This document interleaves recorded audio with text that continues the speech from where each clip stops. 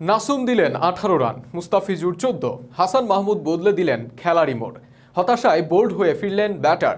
প্রথম ম্যাচে বোধ হলো ইংল্যান্ড। একইভাবে হাসানে আটকে গেল আয়ারল্যান্ড।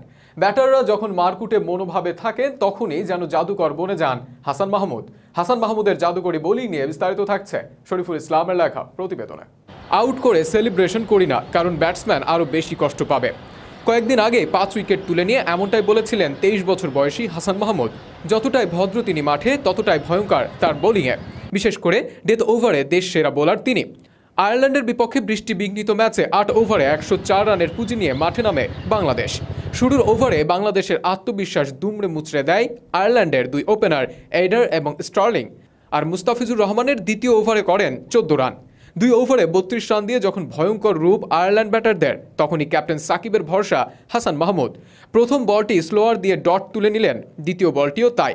তৃতীয় বলেও রানের দেখা পায়নি আইরিশ ব্যাটার। চতুর্থ বলে তো স্ট্যাম্পই তুলে নিলেন হাসান মাহমুদ। যদিও পরের ওভারে তাস্কিন তুলে নেন তিনটি উইকেট। তবে ম্যাচের মোমেন্টাম নিজেদের করে নিতে হাসান মাহমুদের ওই এক ওভারই ছিল সবচেয়ে বেশি কার্যকরী।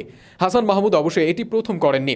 বাংলাদেশের বিপক্ষে প্রথম টি টোয়েন্টি ম্যাচে যখন দুইশো এর লক্ষ্যে ব্যাটিং করছিল ইংলিশরা, তখন নিজের প্রথম ওভারে হাসান নিজেও দিয়েছিলেন একুশ রান। অথচ ডেথ ওভারে এসেই জাদুকরী হাসান মাহমুদ দেখিয়েছিলেন তার বোলিং ম্যাজিক বাঘা বাঘা ব্যাটসম্যানরা ঢুকেছেন তার সামনে।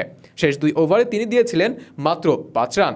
অল্পতেই হয়তো বড় গল্প করার পর কোনো খেলোয়াড়ই ভালো ফলাফল দেয় না। তবে বয়সটা তেইশ হলেও মোটেও অপরিপক্ক নন হাসান মাহমুদ। বেশ কয়েক বছর যাবৎ দাপট দেখাচ্ছেন বিপিএলে। এরপর জাতীয় দলে এসেও করছেন অসাধারণ। হয়তো ইঞ্জুরিতে থেমে না গেলে আরও আগে দলের হাল ধরতেন তিনি। তবে হাসান জানেন কীভাবে ফিরে আসতে হয়। বিপিএলে সর্বোচ্চ উইকেট শিকার করে আবারও জাতীয় দলে জায়গা করে নিয়েছেন তিনি। এখনও লাল বলে অভিষেক না করা হাসান ওডিআই ম্যাচ খেলেছেন মাত্র আটটি, তাতেই ঝুলিতে আছে তেরোটি উইকেট। আছে একটি ফাইফারও। টি টোয়েন্টিতে পারফরমেন্স আরও নজর কারা চোদ্দ ম্যাচে সতেরো উইকেট ঝুলিতে ভরা হাসান মাহমুদের ইকোনমিটাও সাড়ে সাত। আন্তর্জাতিক ক্রিকেটে অল্প দিনেই ত্রিশ উইকেটের মালিক হাসানের বয়সটা কেবল তেইশ। তাই যেতে হবে লম্বা পথ। তাসকিন মুস্তাফিজদের সাথে হাসান মাহমুদ মানিয়ে নিচ্ছেন দারুণভাবে।